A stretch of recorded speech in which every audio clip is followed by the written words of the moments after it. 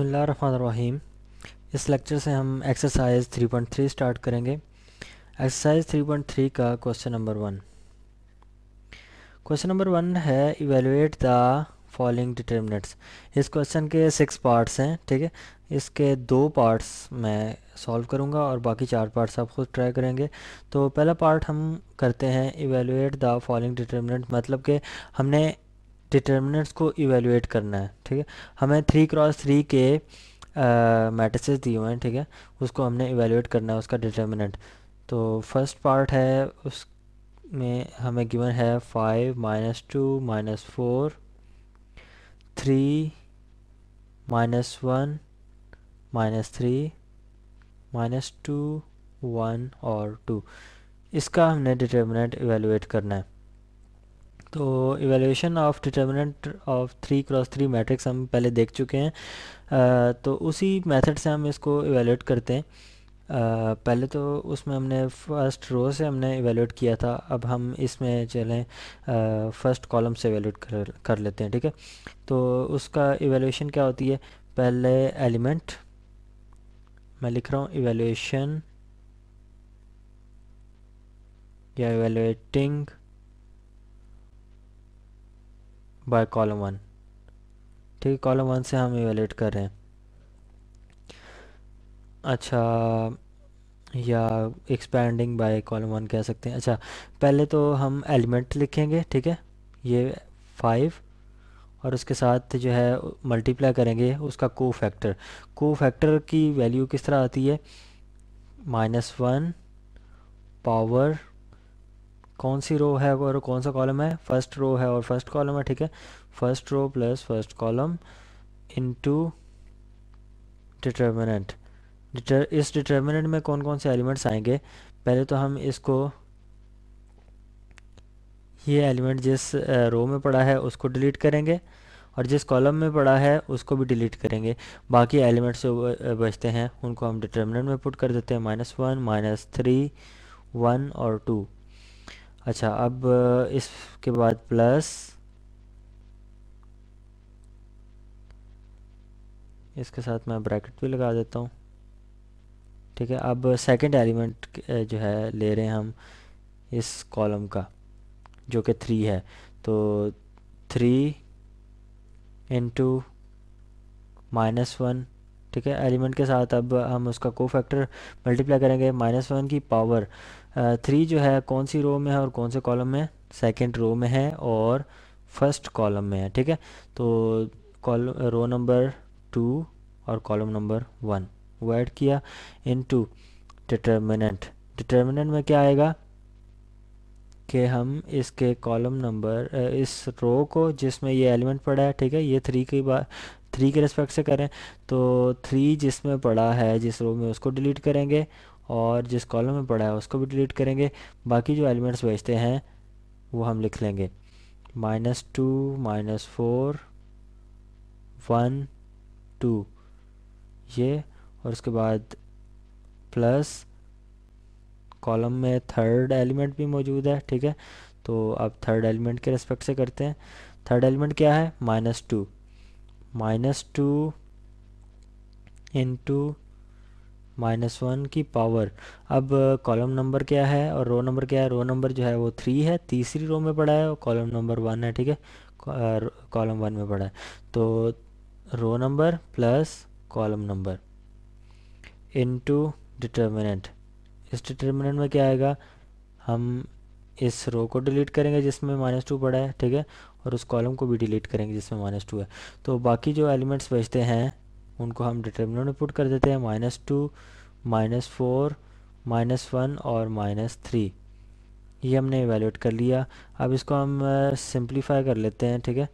तो ये क्या बनेगा? फाइव इंटू माइनस वन की power two is one into इसका टू क्रॉस टू का determinant A D minus B C के थ्रू जो करते हैं, ठीक है? तो वो बनता है माइनस टू प्लस थ्री और इसके बाद अगला सॉल्व करते हैं। थ्री इंटू माइनस वन की पावर थ्री है ऑड पावर है तो माइनस वन ही रहेगा ये। इंटू इसका डिटर्मिनेंट ले लेते हैं टू क्रॉस टू का A D minus B C से तो ये बनेगा माइनस फोर प्लस फोर। तो ये हमारे पास सेकंड हो गया। उसके बाद प्लस इसका, इसको सॉल्व करते हैं minus two into minus one की पावर फोर। माइनस वन की पावर फोर फोर जो है, इवन है, इवन पावर हो तो पॉजिटिव हो जाता है। ठीक है माइनस वन जो है वो प्लस वन बन जाएगा।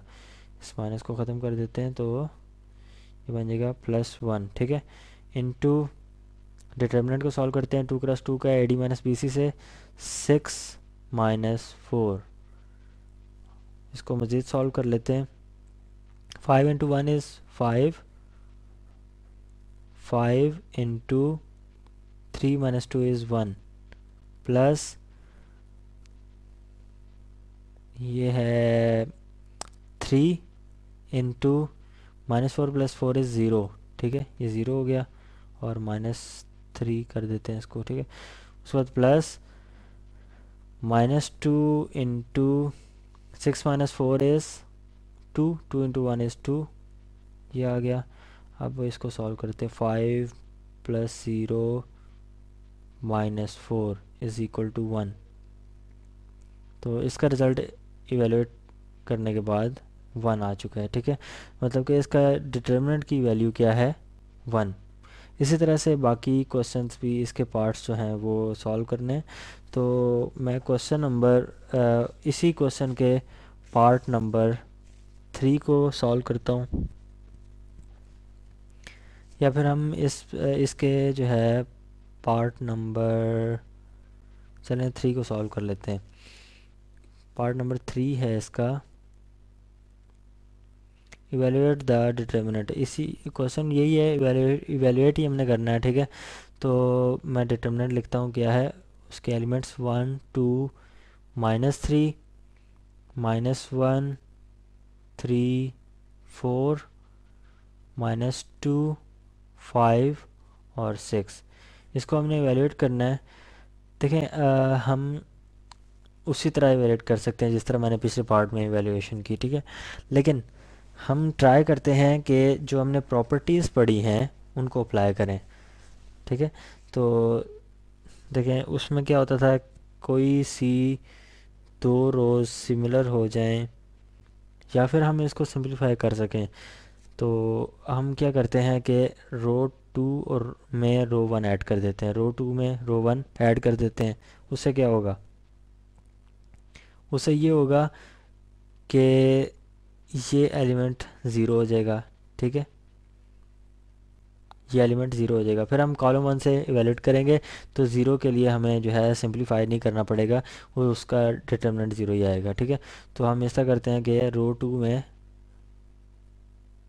रो वन को ऐड कर लेते हैं। R two plus R one perform करते हैं। तो R two plus R one का मतलब क्या है? कि रो टू में रो वन ऐड करना है, ठीक है? रो वन में कुछ नहीं ऐड करना रो वन उसी तरह रहेगी। लेकिन जो पहले मैंने लिखा हुआ है आर कौन सा है? टू दूसरी रो उसमें फ़र्क पड़ेगा, ठीक है? रो टू में आके आर वन ऐड हो रहा है। तो आर वन जो है, वो बाद में है, उसको कोई फ़र्क नहीं पड़ेगा। तो हम इस तरह करते हैं कि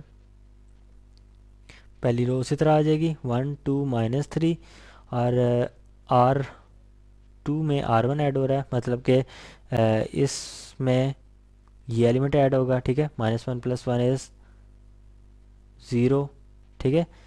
और इस एलिमेंट में ये एलिमेंट ऐड होगा three plus two is five और इस एलिमेंट में ये एलिमेंट ऐड होगा four minus three is one ठीक है? करस्पॉन्डिंग एलिमेंट्स जो हैं वो ऐड होंगे। तो R two plus R one हमने परफॉर्म किया। तो उसका रिज़ल्ट ये आया, ठीक है? तो आर थ्री जो है वो भी उसी तरह आएगा। रो थ्री जो है माइनस टू फाइव सिक्स अच्छा ये बन गया after performing R two plus R one तो हमने प्रॉपर्टी पढ़ी थी कि कोई भी दो आ, किसी एक रो में किसी कोई दूसरी रो ऐड कर सकते हैं या फिर आ, जो है किसी रो को कांस्टेंट के साथ मल्टीप्लाई करके हम किसी और रो में ऐड कर सकते हैं या कॉलम्स को भी इस तरह से ऐड कर सकते हैं ठीक है? उस पर डिटर्मिनेंट पे कोई फ़र्क नहीं पड़ेगा उस ऑपरेशन से डिटर्मिनेंट पे कोई फ़र्क नहीं पड़ेगा। अच्छा उसके बाद ये ज़ीरो बन गया, ठीक है? तो अब हम देखें इस एलिमेंट को हम किस तरह से ज़ीरो बना सकते हैं? अगर इसमें टू ऐड हो तो ये एलिमेंट भी ज़ीरो हो जाएगा, ठीक है? तो वो हम टू किस तरह से ऐड कर सकते हैं कि इस एलिमेंट को अगर मैं टू के साथ मल्टीप्लाई करूँ तो ये क्या बन जाएगा? टू, ठीक है? इसमें ऐड कर दूँ तो ये ज़ीरो हो जाएगा। मतलब कि मैं रो वन को टू से मल्टीप्लाई करता हूँ और रो थ्री में ऐड कर देता हूँ। ऐड किसमें जाके करना है? रो थ्री में। तो रो थ्री पहले लिख लेते हैं, ठीक है? जिस जो रो चेंज होनी है, ठीक है? जिसमें जाके ऐड होना है, वो मैं पहले लिख रहा हूँ आर थ्री आर थ्री में क्या ऐड करना है? इसको टू से मल्टीप्लाई करके मतलब कि रो वन को टू से मल्टीप्लाई करके हम आर थ्री में ऐड कर रहे हैं, ठीक है? ये ऑपरेशन होता है। तो हम कर देते हैं ऐड रो वन भी उस तरह रहेगी, ठीक है? सिर्फ़ आर थ्री में चेंज आना है तो बाकी रोज़ दोनों हैं, वो उसी तरह रहेंगी। One two minus three zero five one अच्छा अब आर थ्री है आर थ्री में क्या हो रहा है? दो से मल्टीप्लाई हो रही है रो वन और इसमें ऐड हो रही है। तो multiply by two multiply by two multiply by two और इसमें ऐड हो जाएगी आके ठीक है? तो ये आकर इसमें ऐड होगा। तो ये टू वन ज़ा two minus two minus two plus two is zero, ठीक है? फाइव प्लस फोर, ये एलिमेंट इधर आके ऐड होगा, ठीक है? इधर। तो ये बनेगा फोर है, ठीक है? Four plus five is nine, यहाँ पर नाइन आ गया। और ये एलिमेंट जो है, ये आकर इसमें ऐड होगा। तो माइनस सिक्स थ्री टू जो सिक्स है ना, और साथ माइनस आना minus six plus six is zero. तो ये बन गया, ठीक है? अब इसके बाद हम दोबारा से डिटर्मिनेंट उसी तरह लिख लेते हैं, ठीक है? इसमें भी हमने क्या किया कि कांस्टेंट को टू जो था वो कांस्टेंट था, ठीक है? उसको रो वन में मल्टीप्लाई किया और रो वन, रो थ्री में जाके उसको ऐड कर दिया। ये भी वही प्रॉपर्टी यूज़ हो रही है तो इससे जो है हमारे डिटर्मिनेंट पे कोई फ़र्क नहीं पड़ेगा, ठीक है? तो अच्छा इस, ये ऑपरेशन जो है परफॉर्म करने का क्या फ़ायदा हुआ हमें? देखें अगर मैं कॉलम वन से जो है वो डिटर्मिनेंट लेता हूँ तो उसमें क्या होगा? इवेलुएटिंग बाय कॉलम वन पहले एलिमेंट आएगा, ठीक है? उसके बाद उसका को फैक्टर आएगा। को फैक्टर क्या है? माइनस वन की पावर वन प्लस वन आ जाएगा, ठीक है? पहली रो है, पहला कॉलम है, इसके थ्रू मैं अगर कर रहा हूँ। और साथ में डिटर्मिनेंट डिटर्मिनेंट में क्या क्या वैल्यूज़ आएँगी? ये आ, ये कॉलम और ये रो डिलीट हो जाएगी। बाकी एलिमेंट्स के बचे? फाइव वन नाइन ज़ीरो ठीक है? प्लस अब अगला एलिमेंट आ जाएगा। अगला एलिमेंट क्या है? ज़ीरो तो उसके साथ में उसका को फैक्टर भी मल्टीप्लाई करूँ तो वो भी ज़ीरो हो जाएगा। ठीक है? तो इसलिए वो लिखने की ज़रूरत नहीं है। प्लस अगला एलिमेंट क्या है कॉलम में? ज़ीरो उसके साथ भी उसका को फैक्टर मल्टीप्लाई हो तो रिज़ल्ट फिर भी ज़ीरो आएगा। इसलिए को फैक्टर निकालने की ज़रूरत नहीं है। तो ये आसानी आ गई कि हमें को फैक्टर्स नहीं निकालने पड़े इन दोनों एलिमेंट्स के। ठीक है? इसलिए हमने ये ऑपरेशन जो है परफॉर्म किया था। तो ताकि ये ज़ीरो बन जाए और हमारे लिए आसानी हो जाए को फैक्टर्स हमें ना निकालने पड़े। अच्छा आगे क्या हम इसको सॉल्व कर लेते हैं? ये बन जाएगा वन इंटू वन वन ठीक है? ये भी पॉजिटिव वन ये भी पॉजिटिव वन वन हो जाएगा।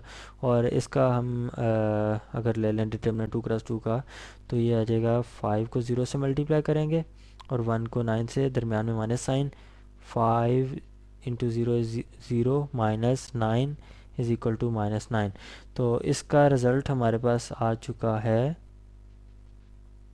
माइनस नाइन ये हमने question number one with using property solve किया, ठीक है? अच्छा बाकी पार्ट जो है, वो भी उस तरह से आप कोई ना कोई जो है प्रॉपर्टी यूज़ करके सॉल्व कर सकते हैं, या फिर डायरेक्ट आप जिस तरह से मेथड है एक्सपेंशन ऑफ़ डिटर्मिनेंट वो यूज़ कर सकते हैं, ठीक है? आगे हम क्वेश्चन नंबर टू पर आते हैं। क्वेश्चन नंबर टू में हमें क्या कहा गया है? विदाउट एक्सपेंशन शो दैट ठीक है?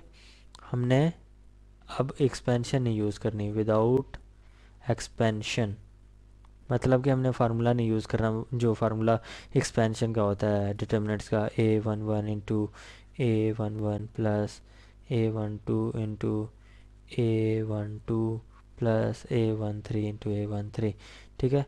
ये डिटर्मिनेंट जो है थ्री क्रॉस थ्री का फाइंड करने के लिए जो होता है, ये हमने अब यूज़ नहीं करना, ठीक है? ये यूज़ नहीं करेंगे हम तो प्रॉपर्टीज़ यूज़ करेंगे। हमने करना क्या है? शो करना है कि पहला पार्ट मैं लिखता हूँ। पहला पार्ट है six seven eight three four five two three four ठीक है, ये डिटर्मिनेंट हमें गिवन है और हमें कहा है कि वो एक्सपेंशन नहीं यूज़ करनी। Without expansion show that this determinant इसका determinant is equal to zero है। ये हमने शो करना है, ठीक है? तो ये हम किस तरह से शो करेंगे? कोई ना कोई प्रॉपर्टी यूज़ करते हैं। सही है? तो अच्छा अब हम करते ये हैं कि अगर थर्ड कॉलम को हम ऐड कर दें फ़र्स्ट कॉलम में तो क्या होगा? किसमें ऐड करें फ़र्स्ट कॉलम में जाके थर्ड कॉलम को ऐड कर रहे हैं, ठीक है? मतलब कि सी वन में, कॉलम वन में चेंज आना है ना? उसको मैं पहले लिख रहा हूँ। C one plus C three तो क्या बन जाएगा? ये ऑपरेशन परफॉर्म करें। कॉलम वन में कॉलम थ्री ऐड हो रहा है। मतलब कि सिक्स में एट ऐड होगा थ्री में फाइव ऐड होगा टू में फोर ऐड होगा। Six plus eight is fourteen three plus five is eight two plus four is six seven four three बाकी कॉलम्स उसी तरह आ जाएँगे। एट फाइव फोर ठीक है, ये हमने प्रॉपर्टी यूज़ की कि किसी भी दो कॉलम्स को हम ऐड कर सकते हैं या किसी भी दो रोज़ को हम आपस में ऐड कर सकते हैं और डिटर्मिनेंट पे कोई फ़र्क नहीं पड़ेगा। अच्छा अब हम क्या करते हैं कि इसमें से देखें, ये कॉलम है, इसमें से कॉमन आ रहा है कुछ टू कॉमन है, ठीक है? ये भी टू का मल्टीपल है भाई, ये भी टू का मल्टीपल है, ये भी टू का मल्टीपल है। तो इसमें से हम टू जो है वो कॉमन ले सकते हैं। तो टू कॉमन ले लेते हैं, ठीक है? जिस तरह हमने एक प्रॉपर्टी पढ़ी थी कि अगर कोई कांस्टेंट मल्टीप्लाई करना है डिटर्मिनेंट में तो किसी एक रो या किसी एक कॉलम के साथ मल्टीप्लाई होगा वो, ठीक है? अगर तीन सारे एलिमेंट्स के साथ मल्टीप्लाई करना है तो तीन दफ़ा वो मल्टीप्लाई होगा फिर, ठीक है? बाहर भी तीन दफ़ा मल्टीप्लाई होगा। तो अब यहाँ पर जो है किसी एक कॉलम से भी हम कॉमन ले सकते हैं, ठीक है? वो बाहर कॉमन आ जाएगा। तो टू कॉमन आ रहा है। टू मैंने बाहर लिख दिया। तो ये क्या आ जाएगा? सेवन फोर थ्री ठीक है? और ये कौन सी रो है? ये पहले से सेवन फोर थ्री है। और एट फाइव फोर अच्छा अब ये काम करने का मकसद क्या था, अब हमें समझ आएगी, ठीक है? कि कॉलम वन में कॉलम थ्री क्यों ऐड किया और फिर टू कॉमन क्यों लिया? इसलिए लिया ताकि कॉलम वन और कॉलम टू के एलिमेंट्स सेम हो जाएँ, ठीक है? आप देखें तो कॉलम वन और कॉलम टू के एलिमेंट्स जो हैं, वो सेम हो चुके हैं। तो हम वो प्रॉपर्टी यूज़ कर लेते हैं, ठीक है? जो हमने कहा था कि कोई से भी दो कॉलम्स या रोज़ की एंट्रीज इक्वल हो जाएँ सेम हो जाएँ तो उसका डिटर्मिनेंट इक्वल टू ज़ीरो होता है। मतलब कि इसकी वैल्यू क्या हो जाएगी? ज़ीरो और टू पहले से जो मौजूद है two into zero is zero ठीक है? तो यही हमने शो करना था कि इसका डिटर्मिनेंट इक्वल टू ज़ीरो है। तो वो हम शो कर चुके हैं। और हमने एक्सपेंशन नहीं की. विदाउट एक्सपेंशन हमने इसको सॉल्व किया और प्रॉपर्टीज़ यूज़ करते हुए इसको सॉल्व किया तो हमने रिज़ल्ट ले आए हैं ज़ीरो ठीक है? किया गया है कि मैंने कॉलम टू और कॉलम वन को सेम बनाने के लिए मैंने किया कि कॉलम थ्री को कॉलम वन में ऐड कर दिया. ठीक है? कॉलम थ्री में कॉलम वन को ऐड कर दिया. उसके बाद मैंने उसमें से टू कॉमन ले लिया. तो ये कॉलम वन और कॉलम टू की एंट्रीज जो हैं वो सेम आ चुकी हैं। आप कोई और मेथड भी अप्लाई कर सकते हैं ठीक है? जो भी आप ठीक समझें तो प्रॉपर्टीज़ में से कोई से भी प्रॉपर्टी यूज़ कर सकते हैं आप। अच्छा इस क्वेश्चन का आ, मैं सेकंड पार्ट भी सॉल्व कर देता हूँ। सेकंड पार्ट हमें गिवन है two three minus one one one zero two minus three five इसका डिटर्मिनेंट हमने शो करना है, ये भी इक्वल टू ज़ीरो है, ठीक है? तो ये हम किस तरह शो करेंगे? देखते हैं कि कौन सा ऑपरेशन परफॉर्म करें तो कोई सी भी दो रोज़ या दो कॉलम्स हैं वो सेम हो जाएँ, या फिर जो है कोई एक रो या कोई एक कॉलम की एंट्रीज सारी ज़ीरो हो जाएँ, ताकि वो हम प्रॉपर्टी यूज़ करते हुए कह सकें कि वो उसका डिटर्मिनेंट इक्वल टू ज़ीरो है। तो पहले तो हम देखते हैं कि कोई ऐसा ऑपरेशन हम परफॉर्म कर सकते हैं कि कोई दो रोज़ इक्वल हो जाएँ। अगर मैं कॉलम वन और कॉलम टू को ऐड करूँ तो क्या होगा? Three plus two is five five बनेगा। One plus one is two minus three plus two is minus one ठीक है? बाकी कॉलम्स हैं three one minus three minus one zero five अब इसमें से कुछ कॉमन भी नहीं बन रहा, ठीक है? तो ये किसी और कॉलम के इक्वल भी नहीं आया, या कोई रो जो है, वो इक्वल नहीं बन सकी। मतलब कि ये ऑपरेशन नाकाम रहा। ठीक है तो अब हम करते ये हैं कि अगर मैं कॉलम वन में column two column three add करूँ ठीक है adding column third column and second column हाँ अगर मैं पहला और तीसरा कॉलम ऐड करूँ तो क्या होगा?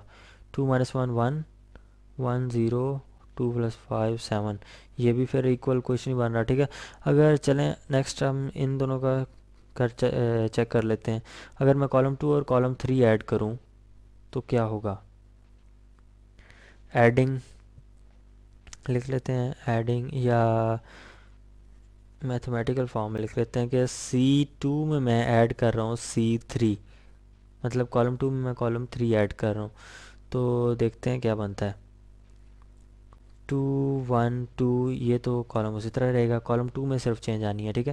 तो कॉलम टू में मैंने ऐड करना है column three three minus one is two one plus zero is one और minus three plus five is two ठीक है, और तीसरा कॉलम उसी तरह आ जाएगा माइनस वन ज़ीरो फाइव अब देखें तो कॉलम वन और कॉलम टू की एंट्रीज या एलिमेंट सेम हो चुके हैं।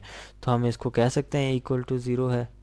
ठीक है because column one is equal to column two या column one and column two are similar ठीक है, या एंट्रीज या elements of column one and column two are similar then इसका डिटर्मिनेंट जो है वो इक्वल टू ज़ीरो होगा। आप इसको एक्सपेंड करके भी चेक कर सकते हैं कि चेक करने के लिए कि ये वाकई ज़ीरो आता है या नहीं आता है, ठीक है? तो ये प्रॉपर्टी है जो कि हम पिछले लेक्चर में पढ़ चुके हैं कि कोई भी दो कॉलम्स या दो रोज़ की एंट्रीज जब इक्वल हो जाती हैं सेम हो जाती हैं तो उसका डिटर्मिनेंट इक्वल टू ज़ीरो होता है। तो ये भी हमने शो कर दिया, ठीक है? तो यहाँ पर क्वेश्चन नंबर वन और क्वेश्चन नंबर टू यहाँ पर हमने इस लेक्चर में सॉल्व किया, ठीक है? विदाउट एक्सपेंशन भी देखा और एक्सपेंशन के थ्रू हमने फ़र्स्ट क्वेश्चन सॉल्व किया था। तो यहाँ पर हम जो है, ये लेक्चर एंड करते हैं और नेक्स्ट से क्वेश्चन नंबर थ्री से स्टार्ट करेंगे।